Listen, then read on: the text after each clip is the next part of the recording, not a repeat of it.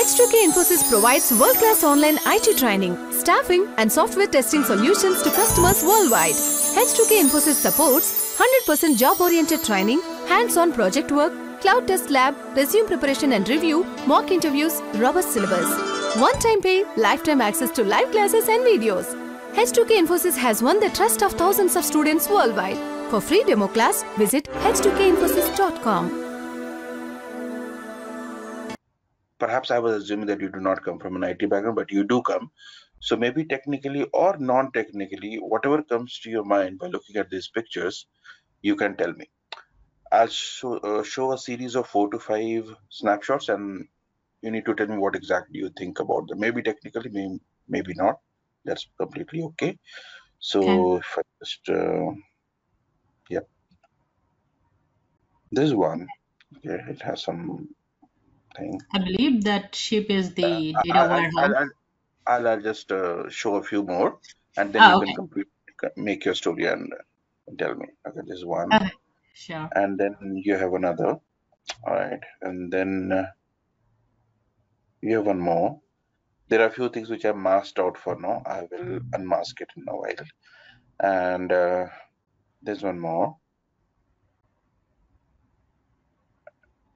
And then there's one more. So, yeah. So, yeah, these are the, no, I'll come to this one later. So, these are the few. Like uh, you see one here going back. This- this. So, what exactly you think? What are these? I mean, what comes to So your mind? Yeah. yeah, I guess in if I think about in Alteryx, since I like I said, I don't have any idea about the SQL or Teradata. I Uh-huh. didn't I don't have any idea about those. What I work when I work on Alteryx, I pick up the file wherever the file location is. So if I think about like that way, that this ship is like you know data house where I'm storing all the data. Those uh, little things are in data, like you know the white things. Those are data. So I'm bringing those in my um, storage. So I'm thinking that the data is storage. Okay. Okay. And what this And then, guy is doing here? So I guess the guy doing is over here. If I think about in Alteryx mind, I'm trying to connect that those data to the server. I guess. I'm not okay. sure. Maybe that's maybe wrong. Okay, that's okay. Nothing is right or wrong. Yeah. Okay.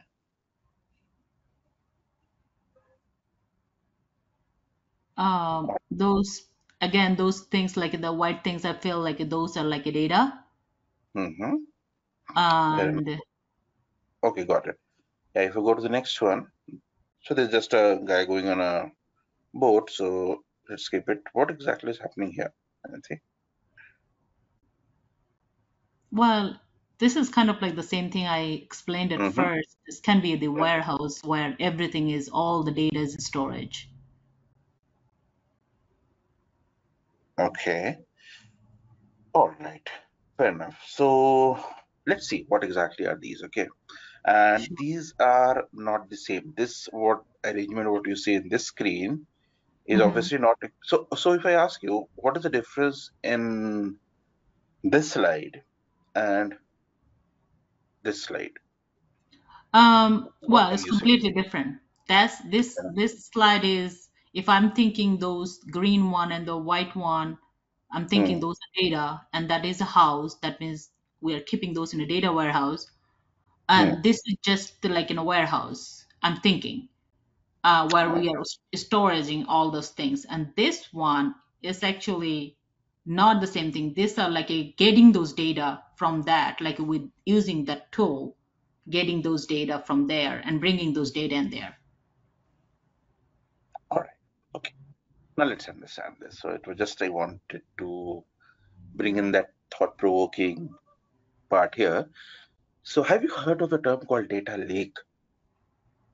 I did, I did, I did hear about it, but I never got the opportunity to work on it. Data lake, Yeah. yes.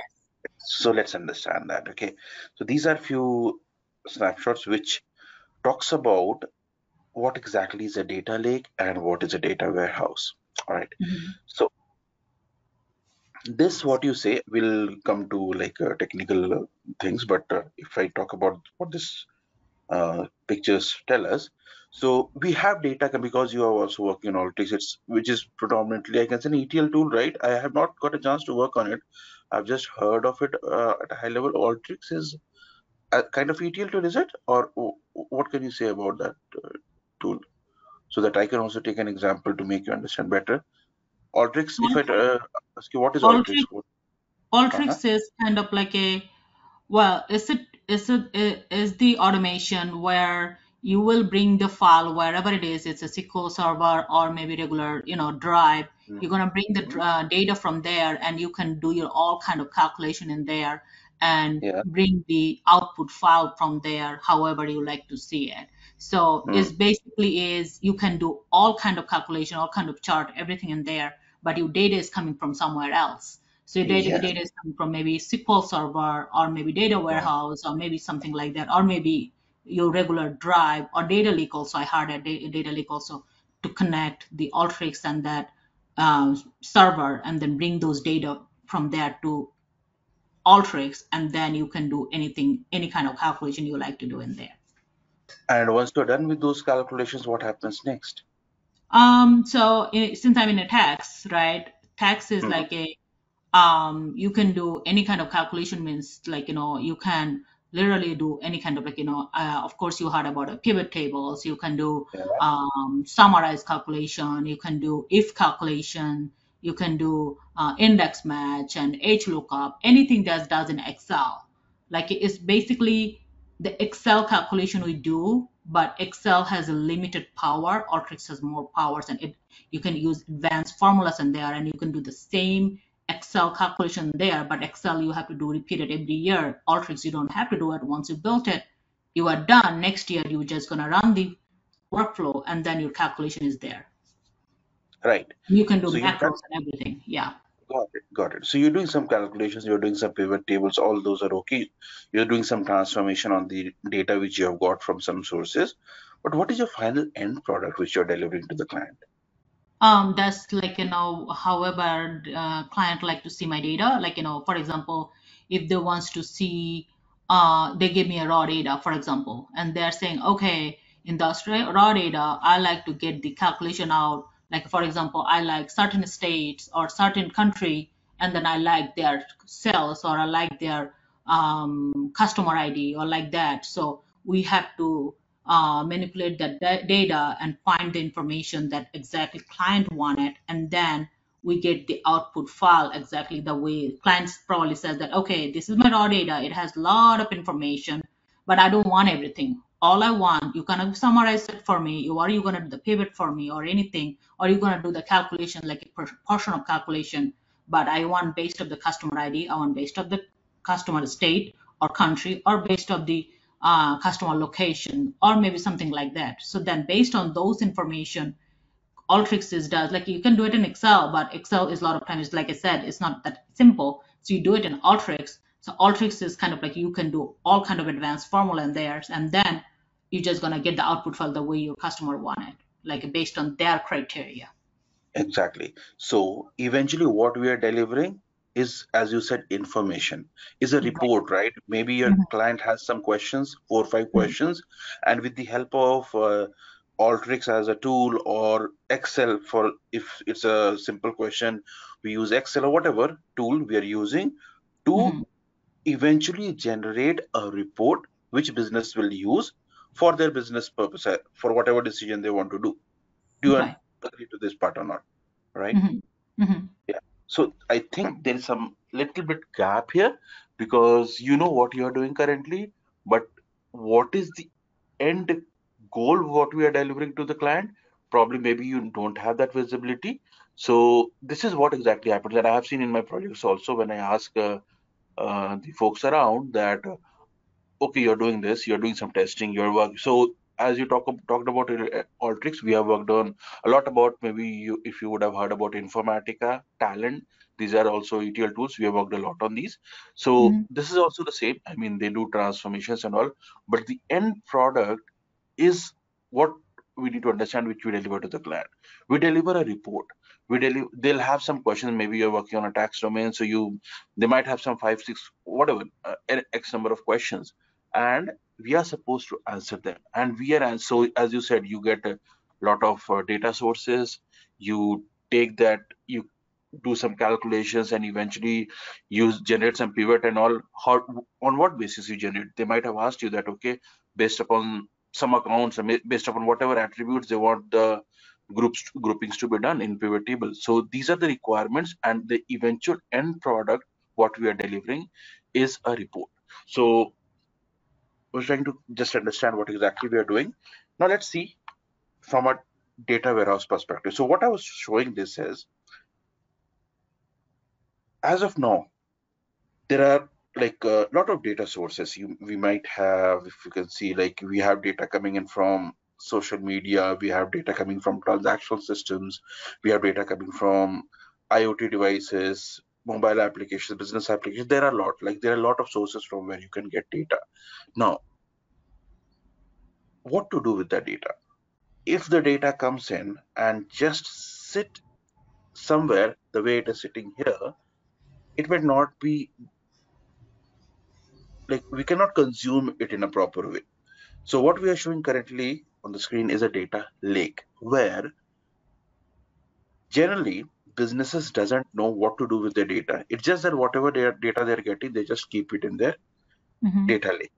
So it is just irrespective of let's say you have financial data, you have HR data, you have let's say like or else if I keep it very simple, like you let's say you have a product related, related data, you have customer related data, all data are just mixed up and keep kept in a data lake. Now, what mm-hmm. this shows here, this shows that if you are trying to fetch some information, let's say my uh, client says that, okay, give me those customers uh, who are the highest uh, uh revenue generator.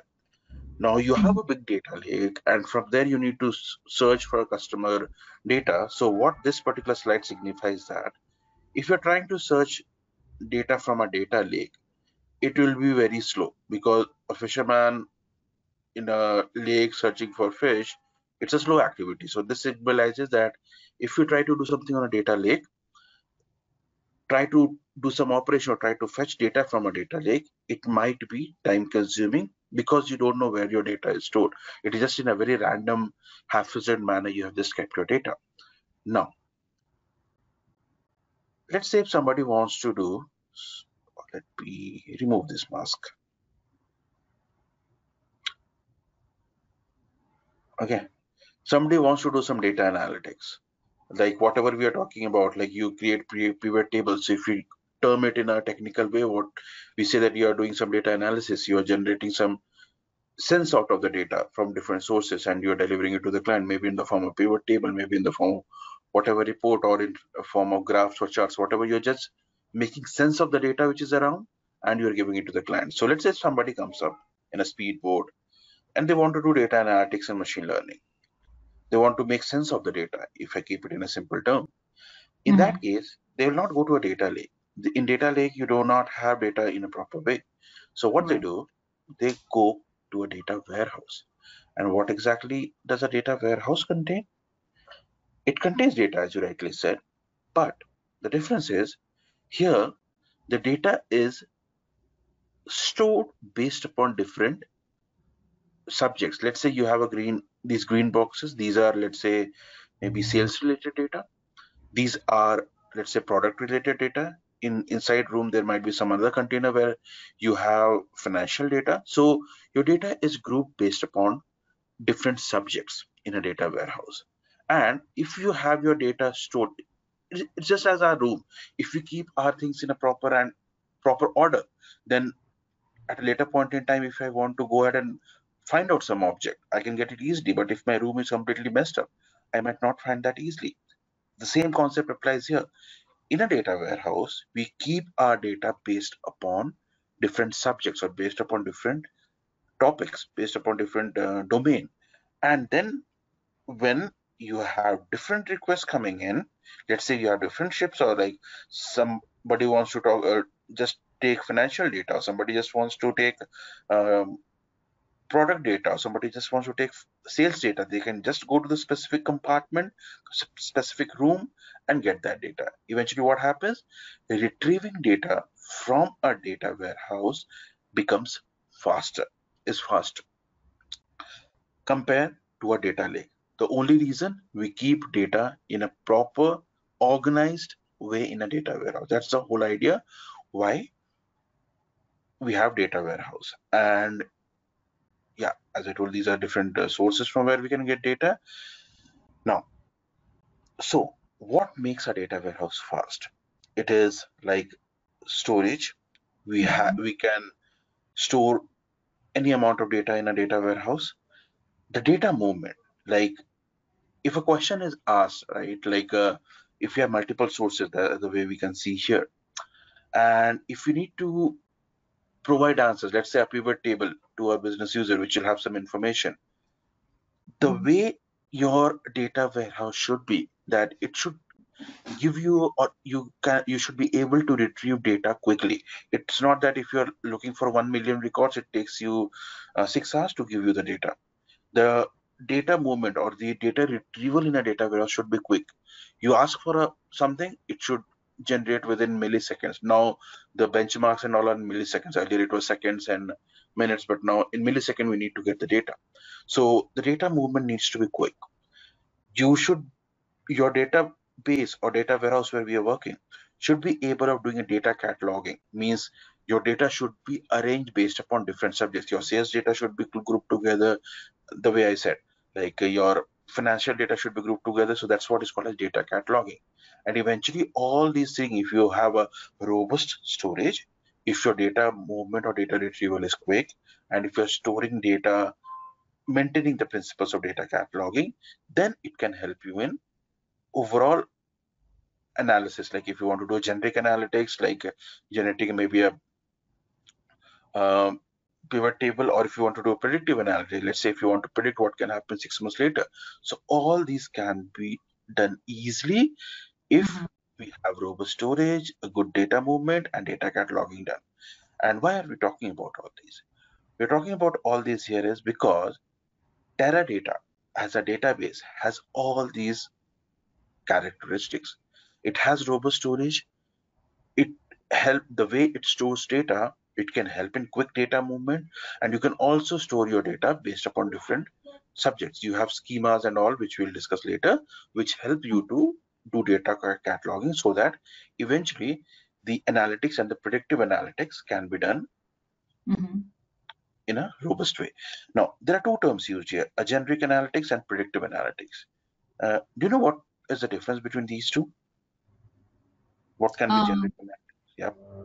Generic one, you can do like a um, just regular analytics, um, analytics, and the predictable one, you use some like in Alteryx Mind, you are using some advanced tools to find them advanced calculation and advanced way to look at it, the data. It's not just a calculation, advanced way to look at the data.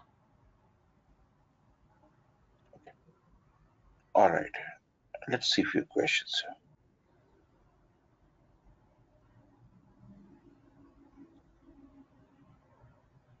So this is just a tutorial presentation where, um, let's say, I'm a retail store manager and there's one data, data warehousing professional, and there are some questions being asked. Now, which are our lowest and highest margin customers? Okay. Now, which customers are most likely to go to the competition? There are there are different questions which you can read yourself. Can you tell me which question here you feel can be answered via predictive analytics? Okay. So. Which you need to predict, which you do not have a um, sure shot answer that okay, this is what the answer would be. You will just be predicting. So you you asking me to choose one for, Yep. for all of, from question one? among these, which you the answer would be not an accurate one, it will just be a prediction. Okay. So in my uh, mind, I feel like the one it says that what impacts will new products and service have on revenue and margins. This is can be the one. And hmm also, if I go further looking that um, what uh, which customer are most likely to go on the uh, go to the computation. That can be also. Exactly. So where we do not have a concrete answer, we base our answer based upon some assumptions. That's where Mhm. it's about predictive analytics. So you have a new product to be launched, and you are supposed to say that okay, a new product will be launched. What impact it will have on my product and like uh, on my revenue and the margins. So this will be based upon some existing data. You'll do some extrapolation. You'll do some uh, calculations around it, but it will not be a absolute or an accurate answer just like this one which are our lowest or highest margin customer because for this you can look at the sales data and you can do a sorting you can maybe in an excel you can sort your data and you say Mm. that okay this is the highest margin the lowest margin which is a concrete or an or an absolute answer and Right. that's what comes under this part generic analytics. In generic generic analytics you have your data you have everything in place it's just that you need to retrieve the data in a proper way. Right. but when it comes to predictive analytics it's all about assu- assuming that okay you have a customer base of 100 customers you need to predict that okay currently these are 100 customers which are uh, purchasing with walmart. Uh, what is the likelihood that in the next six months the out of these 100 customers 20 might not purchase with walmart and go to somebody else so this is a prediction which you will do based upon some parameters probably you will study their buying pattern and you'll see Mm. that okay um, we see a continuous decline in the buying behavior over the last six months. Earlier it was two hundred dollars per month. Now it has become like over gradually reduced to fifty dollars a month, and now it is like maybe ten dollars a month. So this customer, because there is a continuous decline in the buying pattern, we can say that these are the customers who must most likely to go to the competition. So this is just an assumption. It might be because the customer is not in the country, maybe some other reason, but our data will consider that person as a candidate who might leave and go to the competition. So prediction is done on data, which will which is not an absolute answer. It will just give you, and obviously, like there are different. Um, that's where these machine learning models and all are coming, which will predict future for you. It might, it, with some probability, it might be a 0.8, 0.10, but it is never a one probability that okay, this is this is definitely going to happen. No. So this is what is predictive analytics. Now, why am I discussing about these uh, terminologies? Why am I showing these questions? There is a reason to it, and the reason is what we will see with some building blocks here. So Teradata data, like uh, whatever database we are talking about, like Oracle, Teradata, SQL Server, all these, the bigger picture is that these are all used to answer some or the other questions, like the questions which you have seen here, whatever kind of questions. So eventually, the data which resides in any of the database, we have few theoret- theoretical topics. Generally, the courses which I take, it will be mostly hands-on. But Teradata as a concept, you also need to know some like architecture and all. So we'll do that. We'll do that parallelly. But uh, primarily, our focus would be to mix it up with the SQL part, so that we do our hands-on along with the theoretical aspect. Is that okay with you, or you want to cover cover up the theoretical part first, and then go ahead with the SQLs, or shall we do it together? That'll that for me makes more sense. What do you say? Um, like is uh, Shantar, I actually don't have an idea. So however you think that will help Okay, me to learn better, next not next. just like learn also to learn faster. I guess Yeah. um, you know, um, I mean, you are teaching for a long time, so you know each student has a different way probably needed. But to me, I feel like yeah, however you will advise, I'll take like that way. Yeah. So, um, your requirement to learn Teradata, is it to attend interviews to switch a job or to work in a project which has Teradata? What Um, exactly? well, no, I'm not switching a job, but my job is, you know, these days are, um, like I said, I'm in the corporate tax, but tax is not a tax anymore. It's all about a technology now. So, Uh, um, so I actually like to learn, like, you know, SQL, not, not just Alteryx. I want to limit it on that because I want to learn other stuff that will enhance my skills. So, a lot of time, um, we do a lot of, you know, data analysis and all the analytics stuff. We hire, like, you know, big four, big public accounting to do our things. mm, So instead of doing those, you know, they can still help us, but if we know someone in our department knows, that will help us a lot. So that in that point, I like to learn this just because to enhance my skills. Got getting my get, get getting your point. So it's mostly to do your data analysis, and uh, for that, SQL is what is very very important. So I understand your Mhm. requirement. Primary Teradata is one. You want to understand Teradata, but mostly you want to go out after this course using SQL, right, to analyze data, to do something with the data. SQL and yeah, uh, SQL and then um, Teradata. Uh, Yeah, also, I like to, um, and this is not included in this course, but I also have a goal to learn, um, you know, Power, Power BI query and all that stuff. So that's probably would be the second things to do, but this is primary right now. Yes. Okay, okay, got your point. So SQL and Teradata, Teradata knowledge, working knowledge, fair enough. We'll, uh, and that's how that uh, course is made up. So basically, initially, what we are doing now is understanding what exactly is Teradata and, and like what is data warehouse and where exactly does Teradata fit in here. So I was talking about Mhm. that before it dropped off. So I'll continue on that. So we were discussing that uh, whatever data warehousing projects we implement or anything, then that's where in the beginning of this conversation, I asked you the question that you uh, prepare, like uh, you prepare pivot charts and all, what eventually you're doing.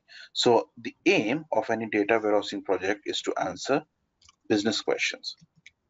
That's correct. Yep. Right? Yeah, you have. I given a few sample questions which was there in a comical pictorial representation. Now, the aim finally we should, what we should remember is we are answering business questions so that businesses can take informed decisions earlier what happened when we didn't have database when we didn't have data warehouse businesses will take decision based upon instincts that okay my business Mhm. is doing good in the eastern region so it will do good in the western region they, do not uh, they never cared for looking at the demographic or the buying pattern of different regions so it was predominantly based upon instincts. With the advent of data warehouse, what happened? People or businesses started taking decisions based upon numbers, based upon statistics, and that's where they started taking informed decisions. Mhm. Now, how do they do that? Okay, so the final aim is this to take informed decisions to answer business questions based upon data. Now, how do we present our answers? So now, when you do your pivoting and all, then how do you give that answer? Is, is it in an Excel format or is it uh, in some other format? How do you present your answers? It Like depends. It depends. So Yes. it's not just like a pivot we use. Pivot is like a very simple one. That is like a yeah depth calculation. A lot of time, a lot of time, like a Mhm. searching the customer, searching the numbers, or maybe um since I'm in the accounting or tax, so mine is related to a numbers. So Yeah. um what a lot of time is charting also like how the sales goes is goes down or up like you know to do the charting also it's not just like you know calculation a lot of time chart you know getting the chart out to see the after the calculation how you know where the sales is goes down which customer is providing more sales and where the customers located is all this stuff Yeah. Yeah. I'm just looking for a report. I do have worked on Power BI. I have some sample report, but it's on another uh, laptop. So yes. So eventually, what we do is we build reports. We, it might be using some tool like Power BI, Tableau, uh, business objects, or it can be just a plain simple Excel report. But eventually, but what we do is we prepare a report. Or if you summarize those, uh, like let's say if a report runs 10 pages long and business told us that, okay, you summarize that, we build a dashboard. So right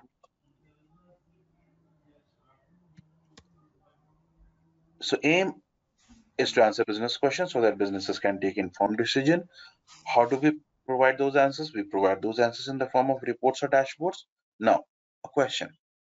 What do you need to prepare your report and dashboard?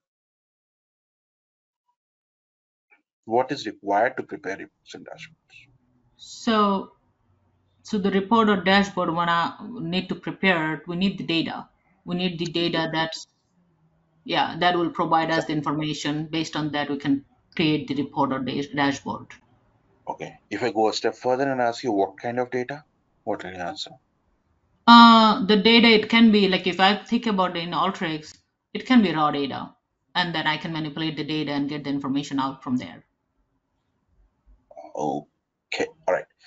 Well, if you have a raw data, all right, will you be able to answer a question something like this? Which customers are most likely to Yep. go to the competition? hmm Okay, okay. Let me tell you. Now, this is for preparation of reports and dashboards. We cannot just do with raw data. Okay, in our data warehouse term, I'm talking. What we need is something like a historical data. Okay, what I mean by this. If I want to answer a question something like this, which customers are most likely to go to the competition? Can I answer this question by knowing a customer's just last transactional data? Or do I need access to a customer's last maybe six months of data to answer this question? Six months, six months of data. Their six months of data will provide us those information, not just a last Right. month of data. No. Exactly. So it's a historical data which which in a consolidated way can cater to the reporting needs or whatever the business asks for. So reports and dashboards are fed through historical data. Now the question comes in where does this historical data come from? And that's where your answer becomes valid here. It comes from raw data. Okay. Now you have like uh, and from where does raw data come? If that's the question. If I'm talking from a, let's say just a retail store perspective, from where does raw data come? Um, in my last job, um, they had a, like in a JDE or DAS kind of like things that we had to pull the data from there. But in my current job, I'm seeing that they get the data from uh, SQL Server or maybe data a data warehouse, and now they also use the Teradata. So these are the uh, place they are getting the data from. So you are consuming data from maybe an SQL Server or Teradata, but who has inserted the data into that SQL Server or whatever database it is? Do you know that, or have you ever thought of it? Who has- Mm, actually SAP? I'm I, I didn't get that last sentence. Uh, no, I'm saying I, I'm not sure about that detail where they are getting the data from because my uh, my role is to get the data Ah, but yeah, not the data, not the data. Uh, I mean, I believe somebody pulls from somewhere, but I'm not sure where they pulls from. Okay, okay. See, yeah, that's where like I wanted to give a complete picture. So until here, these three boxes are I think clear, right? You have any questions around it? No, hopefully.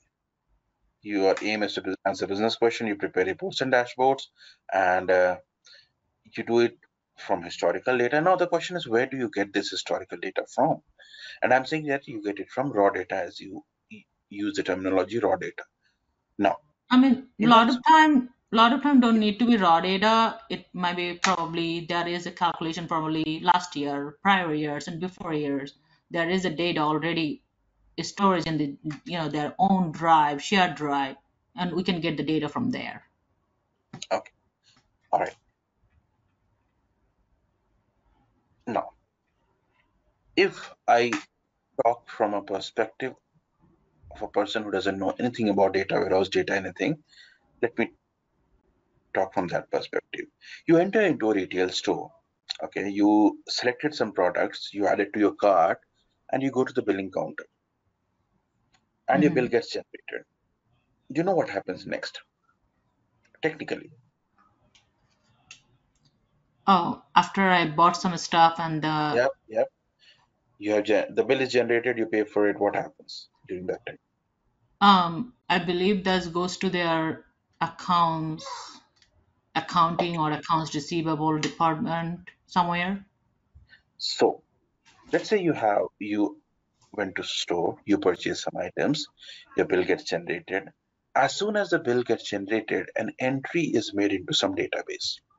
Right. Mhm. and that's your source your source is always fed by some point of sale point which uh, from a retail perspective we call it as a point of sale let's say if it is um, uh, let's say telecommunication whatever call records we uh, whatever calls we make all the duration of the call the start time end time the uh, amount for that particular call all these are saved somewhere which is like uh, retrieved by your nearest station nearest transmission station where your network signals are going so the point is these are the point of like capturing your data. So when I say that from where the data comes into my Teradata or from where the data comes into the um, SQL Server, it comes from somebody who is manipulating or dealing with your transaction.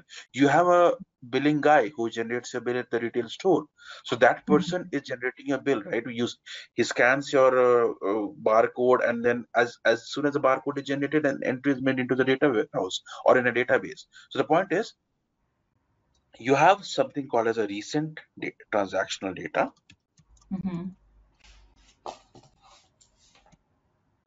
store which stores only your recent data data. Maybe one day worth of data two day worth of data whatever like a week's data it only stores recent data is stored. Now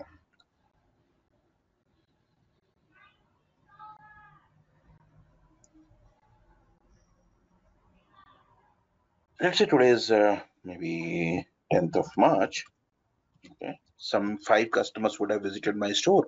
All their five uh, transactions are present here in this particular recent transactional database. Now for this reporting to happen you need access to historical data. So this data from this uh, for now or the technically this particular or else i'll call it db1 database 1 and this is database 2 okay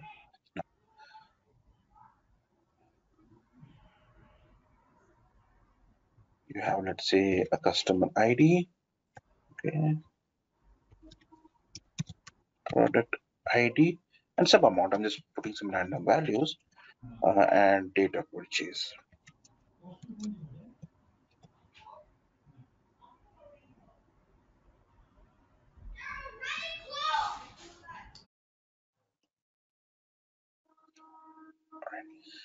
now you have a customer id 1 let's say some product he has purchased amount spent let's say some 30 dollars date of purchase is 10th of march.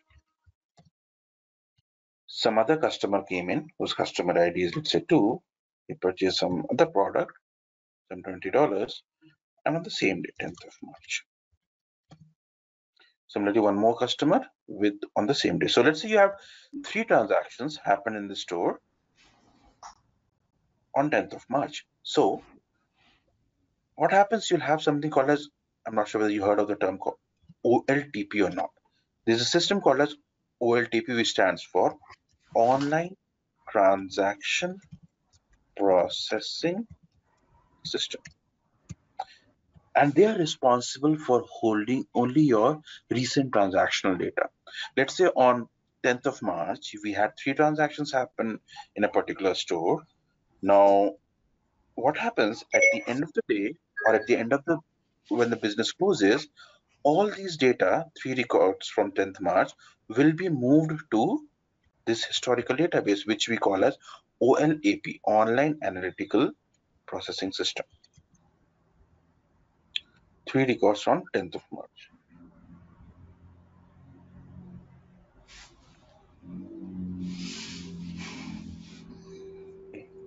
This is called as olap we'll discuss a lot about it i'm just giving you an overview now Sure. online uh, analytical processing system. Now, the three records came in from 10th of March, and this database will be empty or cleaned up for the next day's load. Okay, so now on 11th March, this will again be empty, this DB1, and again let's say on 11th march you have five transactions. So all these 11th march transaction will be uh, let's say this will be replaced and on only the 11th march data will be stored here. Let's say you have five customers coming in on 11th march. So all these five transactions will be held here temporarily. And at the end of the day all these five records will be moving here. So what is happening? Every day this oltp acts as a temporary space where your data is stored for some time and eventually it moves into an OLAP where all your recent and historical data is stored. You can see you have the 10th March. Let's say if I'm looking at this OLAP in DB2 on 11th of March. So I have a 10th March, which is historical data, as well as 11th March, which is my recent data. So the point why I'm discussing this is you have recent data Mm-hmm. it needs to move to a historical database at regular time intervals. Now, who is responsible for doing it? Who does it? And that's where comes your ETL tools. While uh, like uh, you were uh, like when you dropped off from this call, I was just googling what exactly is an Alteryx, because I have heard of it, I've not worked, and I understood from you also. So it is also an ETL tool, like Informatica or like um, as a, Talend. So there are different ETL tools available who are responsible for transforming your data, cleaning your data, and making Right. this automated data movement from this source to this target. Okay, you do whatever you talked about the, the different mathematical operations and all. These are all done here, and we call it as business transformation. Like you apply different rules, whatever business has told us. So we apply Right. all these, and this is where your business transformations happen. Now, Mhm. and why am I discussing about all this? Because it gives you these all five blocks combined together. This Right. forms a data warehouse. These are the different steps by which you populate data here in this particular place. Okay, you Mhm. start from point of sale, your data is stored somewhere temporarily, and then you have ETL tools because, as you said, it is raw data. You need somebody to transform that data, to clean that data, to make it uh, more readable, and then Mhm. eventually it is stored in a historical database from where reports will consume it, and then eventually they'll answer questions to business, That's correct. Yep. right? And this is where your Teradata fit in. Teradata is a OLAP database. It has a huge power. It can store your data, and like uh, it can you can retrieve data faster. And Teradata is predominantly called as uh, like um, uh, OLAP database. However, Teradata also has the features of an ETL tool. So you can do your like business rule transformations and you can apply different calculations by skipping this particular box. So why Teradata is powerful? Because it has the power of uh, OLAP as well as it has it can do your ETL activities as well. So that's where we will learn. So this was these five building blocks were just to tell you that okay, this is the overall picture of what we do. Your Alteryx might come in in this box. Sorry if I am putting the spelling properly. All right, your Alteryx might fit in here. Teradata is something which will be covering completely this box and partially this box. And this is what we'll be doing. So you see there are different utilities here. BTEQ, Mhm. fast deload, fast TPump, fast export, import. So these utilities, because Teradata also has seen that there are a lot of uh, uh, competitors in the market. So if they just keep it as a plain database, it might not work for them. It might not be that much uh, like uh, uh, like business wise uh, good for them. So they have come up very recently with so many features and these utilities are the features which come in an ETL tool. So that's where I said that it has all the features of a OLAP database and it has some features of an ETL tools. And these are those some features which are the utilities of Teradata. So we'll discuss about these utilities, but what will be starting off. So we talked about what exactly is a data warehouse. We talked about what is OLTP and OLAP. OLTP stores your recent transactional data. OLAP will be storing your uh, historical data. And what is active data warehousing and all, we'll talk about it. Uh, These are technical, technological terms and all. And these are different architectures of Teradata, like what are the different uh, components which make up Teradata and all, we'll discuss in detail.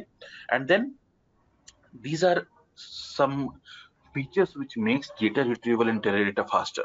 You can retrieve data within fraction of seconds. So, uh, and this is all about how the data is stored. So we'll discuss about primary indexes, uh, secondary indexes. There are a few database objects. These are to do with uh, different admin related activities. And these are like, it helps in your ETL activities. It uh, like if you have uh, huge chunks of data which you want to be loaded immediately. So there are different utilities like fast load and all which helps you to do that. So we'll discuss about those. And then there are Teradata specific features like uh, explain, collect stats, PPI and all, which we'll discuss. And then we have like a lot of uh, hands-on around how do we do Teradata SQL. And there are some features within SQL which help us to do uh, some specific mathematical calculations. So we'll discuss about that also uh, later on in the sessions. This is, so this is the plan of the course, and we just started off with a high-level overview of what exactly is a data warehouse, and we'll continue from here.